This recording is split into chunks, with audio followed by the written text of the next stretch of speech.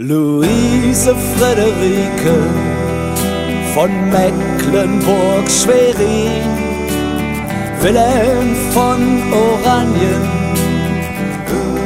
mit Gemahlin.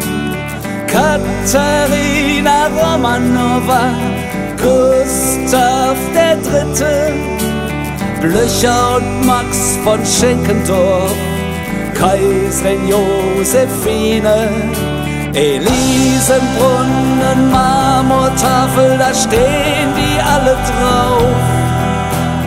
Doch was ist mit mir? Helmut, Paul und Klaus und dem Willi?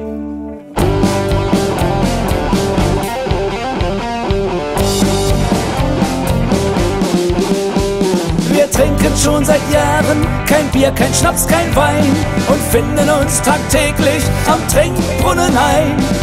Es wird Zeit, dass dies endlich jemand sieht und sagt ihr Jungs, ihr habt euch das redlich verdient.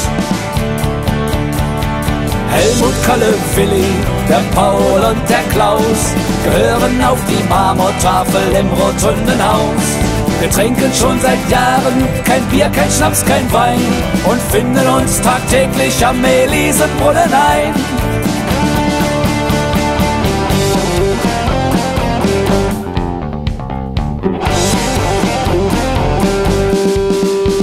Wir gehen mal zur Touristeninfo direkt nebenan und fragen mal nach, was man da machen kann. Ihr seid doch wohl bescheuert, ihr seid doch nicht berühmt. Außerdem ist nichts mehr frei, das Ding ist vollgeschrieben. Helmut, Kalle, Willi, der Paul und der Klaus gehören auf die Marmortafel im Rotundenhaus.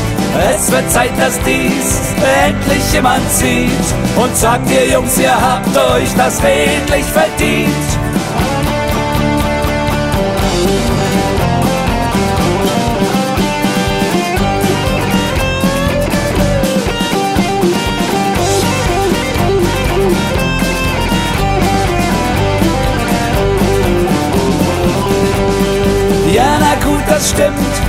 Wir sind nicht prominent.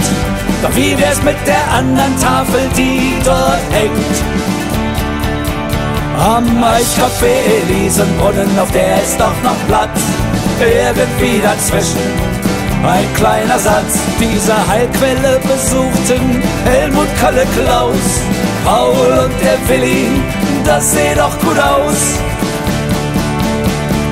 Gelato heute im Angebot.